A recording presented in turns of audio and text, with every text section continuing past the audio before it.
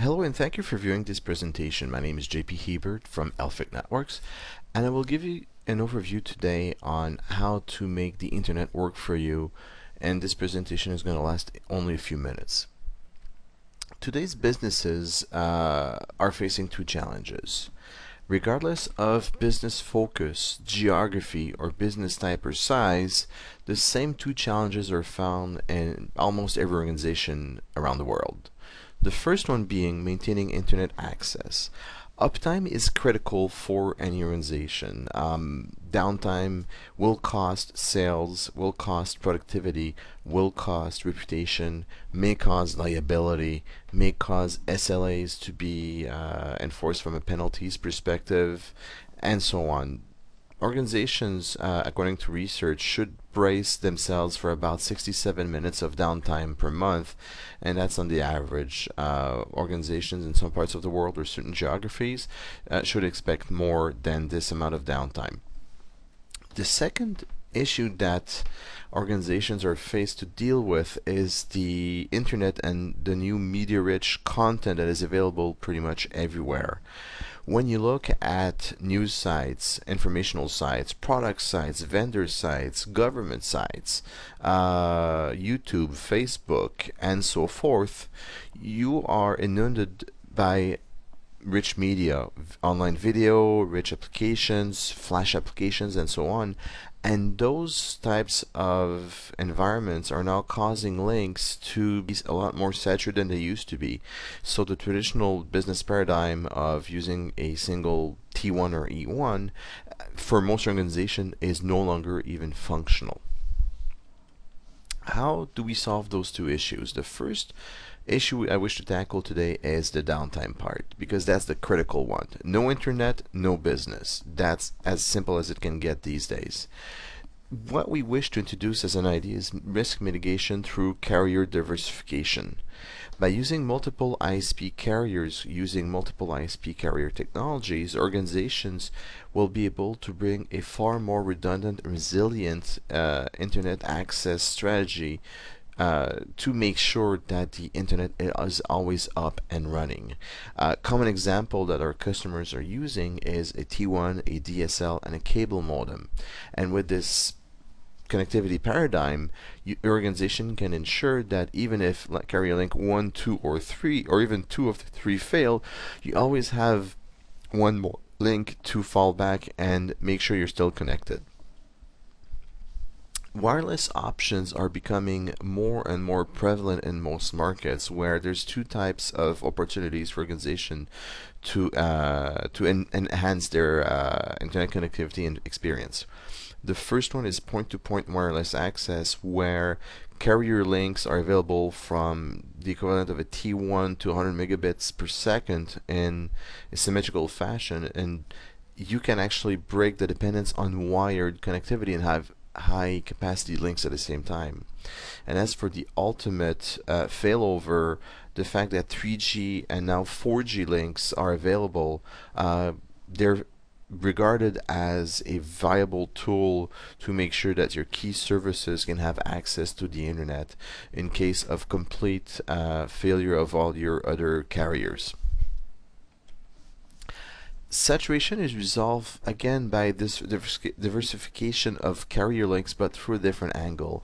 We wish to introduce the idea of using asymmetrical carrier links. Uh, asymmetrical means uh, the download capacity is not equal to the upload capacity. Example, a T1 is a symmetrical link uh, which is usually used for VPN, voice over IP, email and so forth. You have the same amount of download capacity as upload capacity. Those links are also commonly far more expensive than the asymmetrical links. The asymmetrical links bring a significant amount of value to the organization if used in the right context. So most of our customers are diverting to cable modems, DSLs, or SMB grade fibers, asymmetrical fibers, uh, web surfing as an example, another type of activity to make sure that A, we bring a fast download experience to the whole organization and B that the critical links for the critical services are not taxed. So saturation can be resolved in this simple fashion. Who uses this type of strategy? Um, has customers now in over 74 countries, in any business vertical, in any geography, in any size. Our smallest customers start with 10 employees, and our largest customers have thousands of employees. So it doesn't really matter from a size perspective or geography perspective. Um, this kind of computing paradigm brings to the table the ability to conduct business in a sensible fashion and a cost-controlled fashion. Let me jump into the detail of how we actually make it happen. This is a common scenario where you have an office with staff, firewall, one internet link connected to the internet.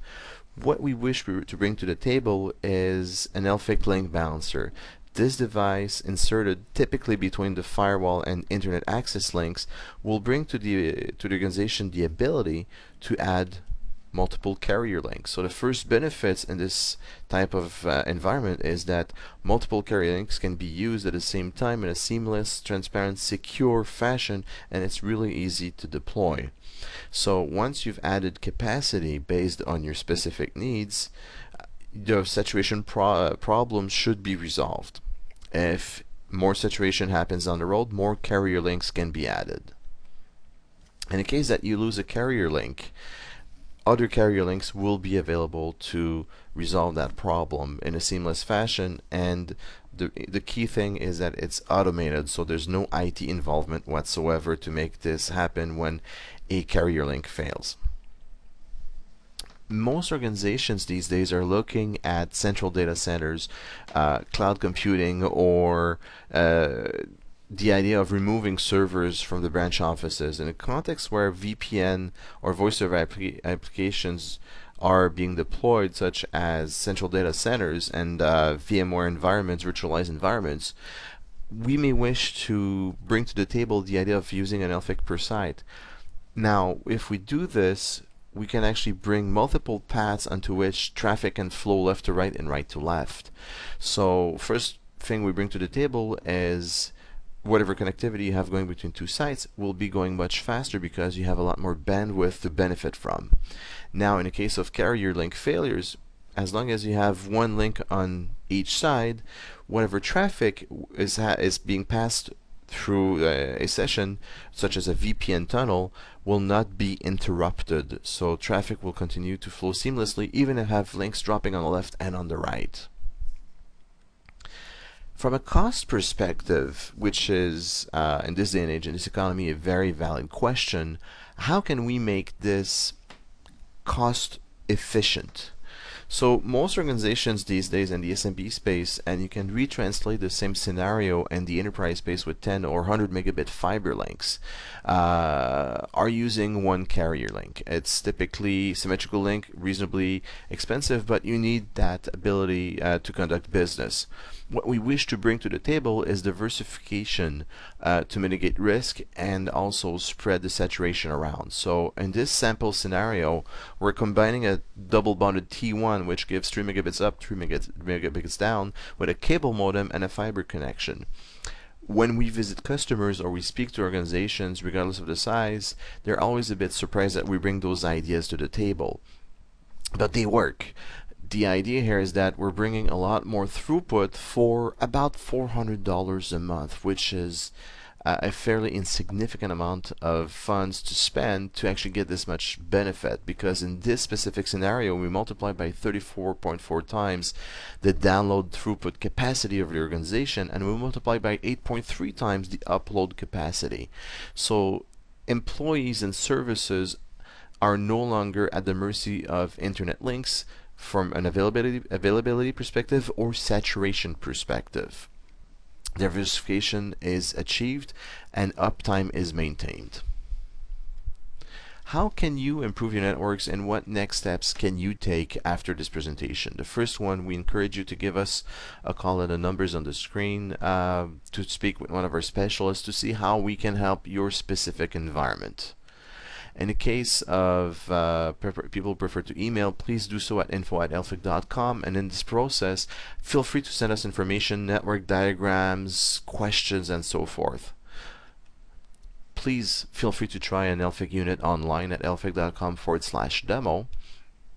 Check out our webinars, please, because we can delve into more details. And if you wish to apply financial metrics for your organization and find out how much you can save and improve at the same time, please visit elfiq.com forward slash ROI. Thank you very much for uh, attending and viewing this presentation. Should you have any questions, please feel free to reach us at any time.